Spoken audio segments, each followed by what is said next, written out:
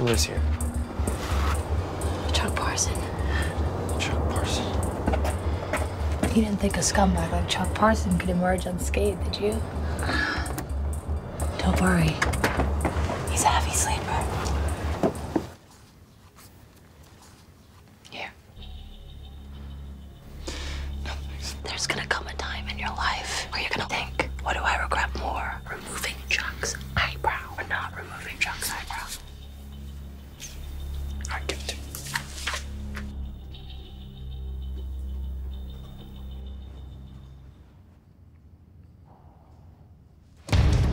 What the?